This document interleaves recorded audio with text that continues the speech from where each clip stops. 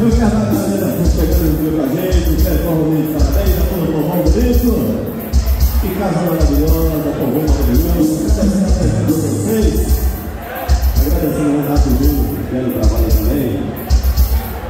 Meus amigos e nossos ciganos, chegando por aí, fazendo a festa para vocês também. Toda a galera marcando presença. Sejam bem-vindos a todos vocês.